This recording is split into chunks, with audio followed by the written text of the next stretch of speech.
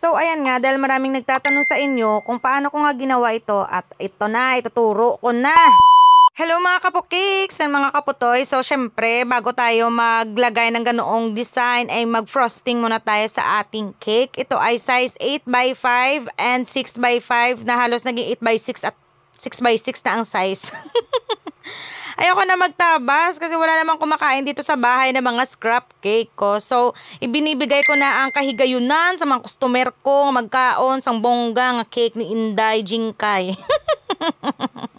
Charot lang para maglawig na voice over eh. anyway, after nating ilagyan ng, tawag ng frosting, syempre papakinisin natin to. At ang gamit ko ditong frosty ay syempre walang iba, ACC whipping cream lang ang sakalam para sa akin. Syempre, pinopromote ko na ito kasi marami na lagi na nagtatanong sa akin kung anong gamit kong frosting. Bakit daw? Ang bilis ko mapakinis mga cake ko. Kaya ayan, hawag ng tanong ng tanong. Diyos ko, ginalagay ko na sa gilid ng ating cake ang aking frosting na ginagamit. You know what I mean? I mean what I mean? what I mean ay hindi siya gaano katagal unlike before sa aking ginagamit na frosting. Huwag ko na sabihin kung ano yon Basta yun na yon Basta dito na ako nag-switch sa ACC and dito na in love talaga ako sa unang gamit ko pa lang kasi ang bilis na talagang pakinisin me, promise. At sobrang stable pa niya kahit sobrang init na nabadahan. Hoy, grabing init. Diyos ko, mabot kami ng 44 degrees Celsius dito. So, yan, nakikita nyo ba yan? Yung paglalagay ko pa ng bulak na yan. Halos mabali ang kamay ko dyan sa pagpalibot ng aking piping bag at piping tip. so, ito na, ito yung ginagamit kong pang, ano tawag dyan, pan Huy, pangbakat. Ayun, 'di ba? Ang tagal kong nag-isip. Diyos ko, Mio Marimar. At ayan, dahan-dahan lang sis kasi mauuka yan pag sobrang dinikit mo yan. Syempre, ibabakat lang natin ng saglit. Saglit, pero ang tagal ah. Huy, dali, ana sis, kay kadugay sa voice over. So, ayan na siya. Ibabakat lang natin sa mga uh, gilid-gilid and sa front, back, and back to the moon and back. Ay, ambot na. Wala na ako masabi sa voice sa voiceover ko, basta yan. Ibabakat natin sa ating cake. And syempre sabi ko nga dahan-dahan nang wag masyadong idiin. Tapos lalagyan na natin to ng ating frosting. Syempre guide lang yun guys, yung ating pinambaka. Tapos ito na yon. So ayan, sundan lang natin ang ating binakat ng ating frosting na nasa piping bag. Wala na akong ginamit dyan na piping tip. So, ayan guys, papakita ko kung gaano katagal. Tignan nyo guys kung gaano katagal. Mm, ba? Diba? Apakatagal nito, B.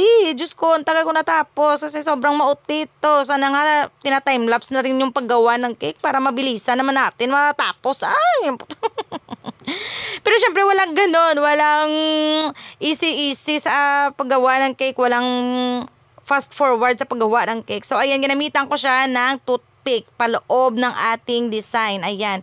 Brush-brush na siya guys. Kasi kung brush yung ginagamit ko kasi, hindi siya masyadong hindi ganyan kaganda yung outcome niya. Kaya nagbalik ako talaga sa toothpick. O, di ba? Minamnomano pa yan ba? Diyos ko. Ma- pag may magpagawa talaga nito sa akin ulit, Diyos ko, magpa-charge na ako sa, sa labor ng paggawa nito. Labor of love na lang lagi yung ginagawa natin, mga bi. so, dito na tayo. May cupcakes talaga to na kasama. 24 cupcakes na at gusto ni madam ay customize gaya cupcakes na. So, ginaya ko din sa inspo. Actually, yung inspo nito ay nanggaling sa TikTok. Ay, ang bilis-bilis ko magsalita. Diyos ko, hinahapo na naman ako mga bi. Ang tagal matapos sa video. Diyos ko, nasa ilang minutes na ba tayo? Nasa 4 minutes na tayo, guys.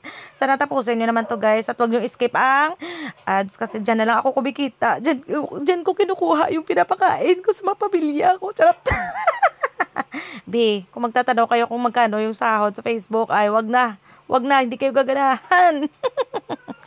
anyway, maglalagay na tayo dito ng ating uh, pina-customize ko tong topper na to or tawag dito cardstock topper. Ayan, naglalagay na din tayo dito ng ating mga um, butterfly butterfly na nabili ko din sa Shopee. Sa Shopee!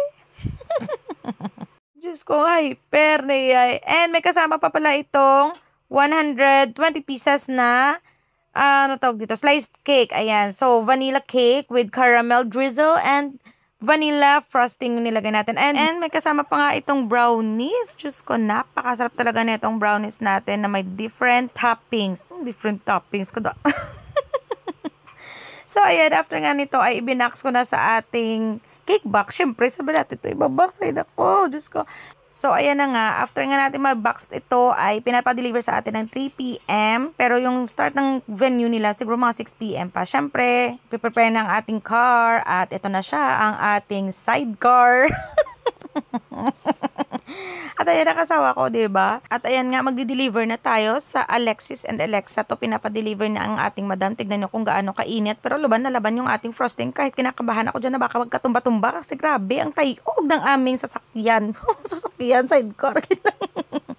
Anyway, nandito na tayo sa venue and dito ko na lang nilagay kasi sobrang init pa doon sa labas and ito na ang kanyang mga order. Maraming maraming salamat Madam Jean Denum Pabia sa pag-order nitong cake. Thanks so much guys for watching. Please follow me for more cake videos. Babush!